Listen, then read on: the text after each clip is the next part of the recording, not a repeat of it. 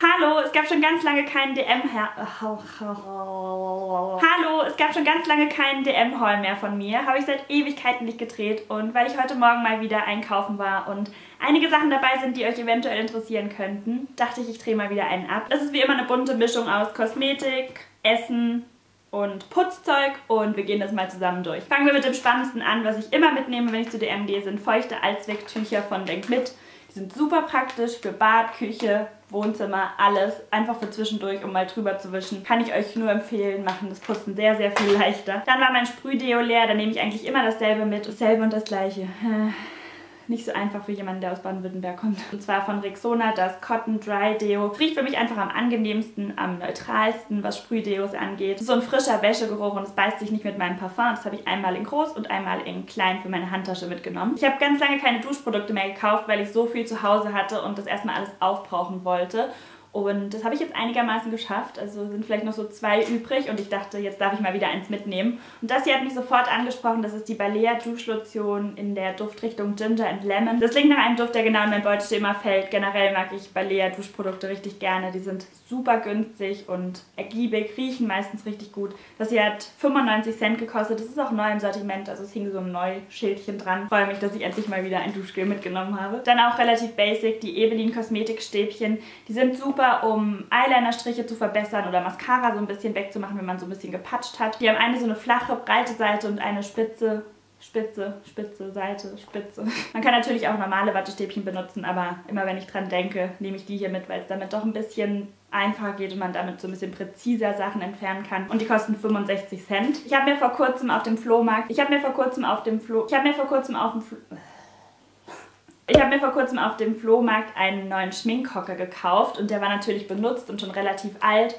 und der hat so eine Polsteroberfläche und deshalb wollte ich ihn unbedingt einmal reinigen. Und deshalb habe ich mir von Vanish so einen Textilreiniger besorgt. Sowas habe ich noch nie ausprobiert, also keine Ahnung, ob das wirklich funktioniert, aber er ist auf jeden Fall für Polster geeignet. Ich wollte den Hocker eigentlich neu beziehen, aber ich habe dann einfach so ein Lammfell drüber gelegt und das gefällt mir eigentlich auch ganz gut. Ich muss nur einmal so die Oberfläche reinigen, damit er mit gutem Gewissen in meinem Zimmer steht und deshalb habe ich das hier mitgenommen. Das war unglaublich teuer. 4,95 hat es gekostet und der Hocker hat so 7 Euro gekostet. Also fast so teuer wie der Hocker vom Flohmarkt, aber ich habe einfach ein besseres Gefühl, wenn ich ihn einmal damit reinige. Dann laufe ich bei DM immer einmal durch die Essensabteilung und meistens nehme ich Pastasoßen mit, weil ich finde, sowas ist immer praktisch zu Hause zu haben, wenn es schnell gehen muss. Ich habe vorher immer die von Alnatura gekauft, die wurden jetzt ersetzt von dieser DM Bio-Marke.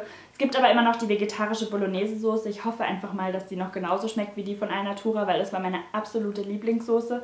Und dann habe ich diesmal noch die Ricotta Pecorino Soße mitgenommen. Die kosten jeweils 1,65 Euro. Lena schreibt mir Müllbeutel. Ich habe letztens Müllbeutel im 1-Euro-Shop gekauft und das war die dümmste Investition überhaupt. Sie halten so ungefähr nichts, also sind sofort gerissen.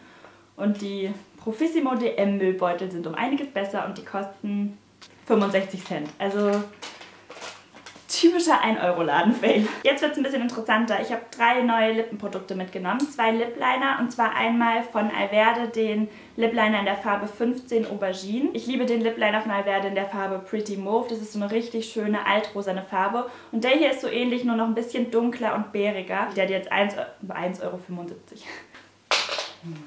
Muss ja einmal passieren. Einmal pro Video muss man was runterschreiben. Zweimal pro Video muss man was runterschmeißen als YouTuber. Generell trage ich zurzeit super gerne einfach nur Lippenpflege auf und dann Lipliner drüber. Das hält unglaublich gut und Lipliner sind auch einfach super günstig. Weil ich den anderen so gerne mag, dachte ich, den hier kann ich auch mal ausprobieren. Dann ein Lipliner von Manhattan, das ist der Extreme Last Lipliner in der Farbe 94F.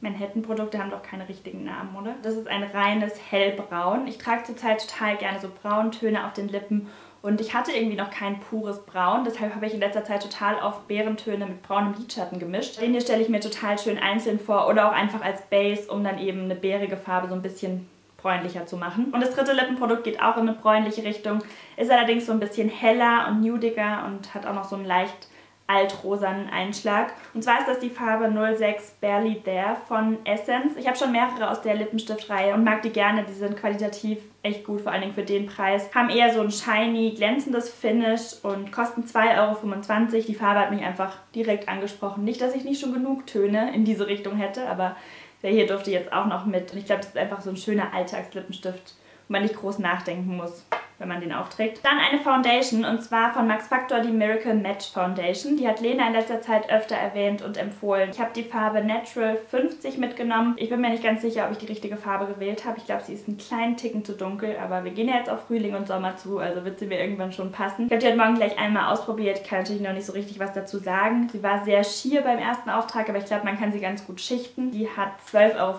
gekostet, also nicht super günstig, aber wenn Lena sagt, dass die gut ist, dann muss ich die halt auch mal ausprobieren. Dann habe ich von Catrice die Glam Doll Mascara mitgenommen, habt ihr schon tausendmal gesehen. Ich benutze ja zurzeit noch ein bisschen lieber die Glamour Doll Mascara, also die lilane Version. Aber diese hier wird auch für immer ein Favorit bleiben. Und weil meine anderen zwei eingetrocknet waren, habe ich hier eine neue mitgenommen, die kostet 3,95 Euro. Dann habe ich von Catrice den Long Lasting Brow Definer mitgenommen, aber diesmal in der Farbe 030 Chocolate Brownie. Das ist der dunkelste. Ganz am Anfang gab es nur den hier und den für Blondinen. Der hier war mir aber damals, als ich ihn hatte, viel zu dunkel. Also er war fast schwarz auf meinen Augenbrauen. Jetzt habe ich ja aber meine Haare dunkler gefärbt und ich glaube, jetzt könnte das einigermaßen passen. Und die mittlere Farbe, die ich jetzt normalerweise immer benutze, ist mir einen kleinen Ticken zu hell und ich liebe das Produkt an sich, aber da dachte ich, ich probiere mal nochmal die Farbe aus. Vielleicht passt die jetzt ein bisschen besser als die mittlere. Und zu guter Letzt noch eine Mascara und zwar von Essence die Maximum Definition Volume Mascara. Die hatte ich auch schon mal und ähm, Solo an sich finde ich die nicht gut. Also die gibt nicht besonders viel Volumen, aber sie trennt super schön und ich benutze die einfach gerne über eine andere Mascara, um die Wimpern nochmal so ein bisschen zu trennen und zu separieren. Und die kostet, wie, ge wie gesagt, wie gesagt, wie ich schon tausendmal gesagt, kostet 2,75 Euro.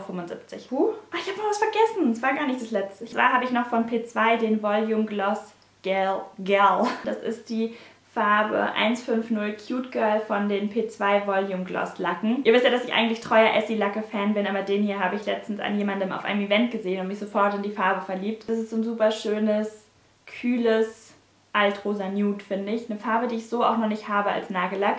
Zur Qualität kann ich nicht sagen, wobei ich schon oft gehört habe, dass die P2 Volume Gloss Lacke gut sein sollen. Ich habe selbst noch keinen ausgepro ausgeprobiert. Ich habe selbst noch keinen ausprobiert, aber ich bin gespannt. Die kosten 1,95 Euro, also viel weniger als Essie-Lacke. Und ich bin gespannt, wie der sich macht, vor allem, weil ich die Farbe so, so schön finde. Das war mein DM-Haul von heute Morgen. Schreibt mir gerne in die Kommentare, was ihr zuletzt bei DM gekauft habt. Das würde mich sehr interessieren. Hier am Ende verlinke ich euch meinen letzten DM-Haul. 100 Jahre alt, aber vielleicht habt ihr trotzdem Lust reinzuklicken. Und nebendran verlinke ich euch unsere Weekly Vlog Playlist. Auch da freuen wir uns immer, wenn ihr reinklickt. In der Infobox findet ihr auch die Links zu unseren Social-Media-Kanälen. Und dann war es für dieses Video und wir sehen uns im nächsten. Oh.